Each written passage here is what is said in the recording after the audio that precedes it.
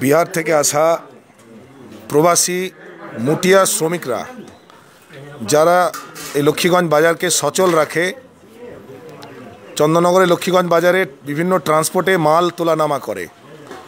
এই মুটিয়ারা এখানে অবরুদ্ধ হয়ে পড়ে আছেন। এদের কাজ বন্ধ, রোজগার বন্ধ।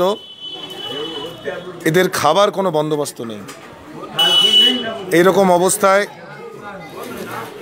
আমরা আবেদন করেছিলাম। এবং সেই আবেদনে সাড়া দিয়ে প্রশাসনের পক্ষ থেকে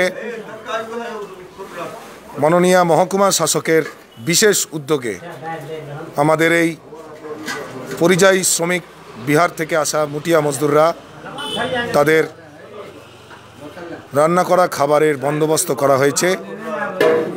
আমরা অসংখ্য ধন্যবাদ জানাচ্ছি এবং সকল মানুষকে অনুরোধ করছি। আপনাদের চারপাশে এ ধরনের অনেক মানুষ আছেন। যে মানুষগুলো নিরন্ন, নিরাশ্রয়ে পড়ে রয়েছেন, তারা যেন অনাহারে, অভুক্ত অবস্থায় না থাকেন। এক মানবিক কর্তব্য হিসেবে আমাদের প্রত্যেকেরই তা দেখা উচিত। আর একবার প্রশাসন, বিশেষ করে মাননীয় মহকুমা শাসক মহাশয়াকে, ডিএম হুগলি মহাশয়কে, আমরা হৃদয়ের অন্তর থেকে অভিনন্দন, ধন্যবাদ জানাচ্ছি এবং ধন্যবাদ জানাচ্ছি যারা এই রান্না করা খাবার পৌঁছে দিলেন। এই মানুষগুলোকে যারা সর্বহারা যাদের কাছে কিছু নেই आप लोग कुछ कहेंगे